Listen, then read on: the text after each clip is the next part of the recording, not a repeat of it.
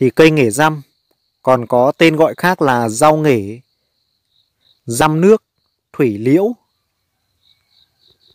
Cây nghể răm cũng là một cây thân thảo, cao 20 đến 70 cm, sống hàng năm, thân mọc đứng, phân nhánh nhiều, có gióng dài và nhẵn, lá mọc so le hình mũi mác, cuống rất ngắn, gốc tròn, đầu lá nhọn, dài từ 4 đến 6 cm, rộng 1 đến 1,3 cm, hai mặt nhẵn, có ít lông ở gân chính và ở mép, mặt trên đôi khi có vết rám hình chữ V.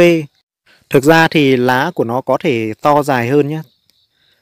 Chiều rộng của lá có thể đạt tới 2 hoặc là 3 cm và dài tới tận ờ, 8 có khi là đến 10 cm nhé, tùy vào điều kiện sinh sống của nó và cây cũng không nhất thiết là mọc thẳng đứng đâu, có thể nó sẽ bị nằm xuống nhé. Tiếp tục đọc nhé.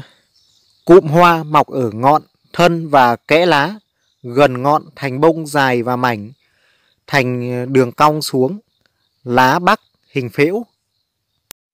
Có lông ở mép, hoa màu đỏ, bao hoa có bốn phiến, có điểm tuyến. Quả hình bầu dục bóng, đôi khi có ba cạnh, có bao hoa tồn tại. Mùa hoa quả là tháng 9 đến tháng 12.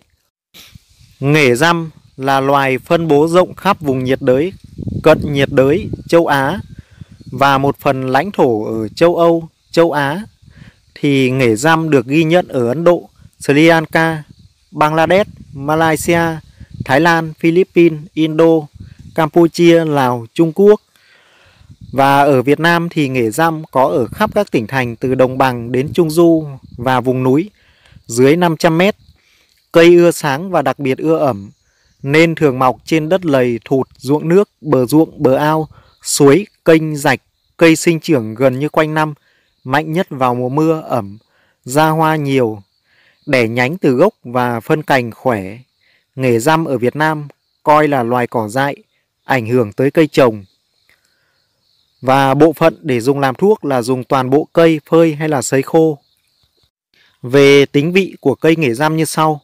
Lá nghề răm tươi có vị cay, thơm, tinh nóng, có tác dụng là tiêu tích trệ, sát khuẩn. Sau đây chính là công dụng và liều dùng. Thân và lá nghề răm được dùng làm thuốc trừ run, nhuận tràng, thông tiểu, chữa gian cắn. Liều dùng mỗi ngày là 8 đến 12 gram cây khô sắc uống hoặc là 20 đến 30 gram cây tươi, thêm nước và gạn lấy nước uống. Nghề giam tươi 40 đến 60 g sắc uống để dùng chữa lị trực khuẩn, viêm ruột và phong thấp xương đau. Để chữa chốc ghẻ lở ngứa ngoài da thì dùng nghề giam tươi, nấu nước tắm và bã sát vào chỗ ghẻ ngứa. Trong y học dân gian Ấn Độ, cao lỏng nghề răm được dùng làm thuốc ngừa thai. Nước sắc của cây điều trị các rối loạn của tử cung, cầm máu, Lá thì được nhai để chữa đau răng, dễ có tác dụng kích thích, lợi tiểu gây trung tiện, trừ run. Bột khô của cây thì rắc vào quần áo để trừ nhạy. Ở nước Nga, nhân dân dùng cao lỏng nghề răm làm thuốc, làm săn, cầm máu, điều trị băng huyết trong sản khoa.